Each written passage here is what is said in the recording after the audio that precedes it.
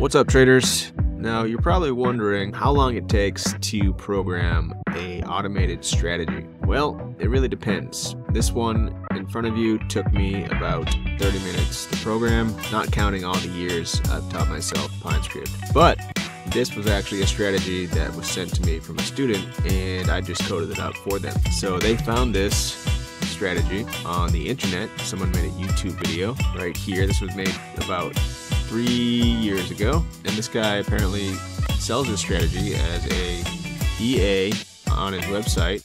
You can also find it on MetaTrader here for $197. He sells this exact strategy. He gave the logic away and in his video and I just decided to code it up for my student who asked me in this forum on my website and I built a strategy.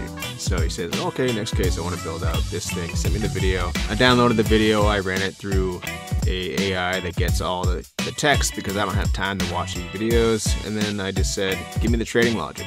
And this is all the trading logic. Okay, so now I have all the trading logic. I popped over into TradingView, jumped down into Pine script, paste the trading logic in there, and I proceeded to code out everything for this strategy. And you can tell it's a pretty simple strategy. There's only like 100 lines of code here, and not including, actually probably half of that. There's only 50 lines of code in here, and that's it. It's a very simple strategy. It's a breakout strategy that's based off of the USD JAPY. It can work on other pairs as well, but basically we get a range from 2 a.m to 330 and then from that range we measure the highs and lows and then we set a buy stop and a sell stop. Okay, that's it. So price breaks out of that range, hits our sell stop, and then it goes in that direction. And then at the end of the day, around 7.55, we close the order in profit.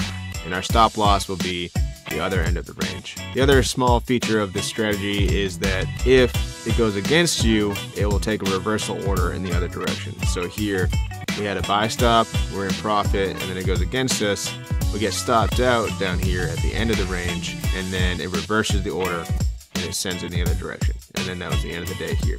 So looking at the strategy tester, we're actually making some decent gains here. Nothing life-changing, but it's still positive.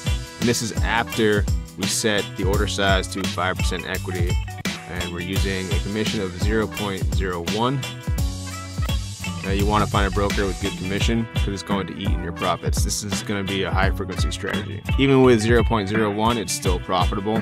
Okay. This is going to have a lot of losing trades because it, it mainly focused on grabbing the big winners.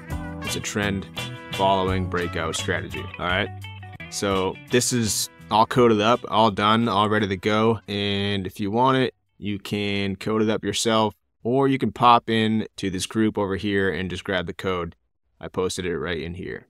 Okay, so I'll leave a link for that in the description for you to check out. I just wanted you guys to see how easy it is to just take anyone's strategy, even if it's a profitable strategy. People will post their stuff online because honestly, people just don't care. So if you have the time and the means, you can go and program just about anything and automate it and check it and run it if it works. So I just wanted to show you guys that. If you have any questions, let me know. I'll see you in the next video.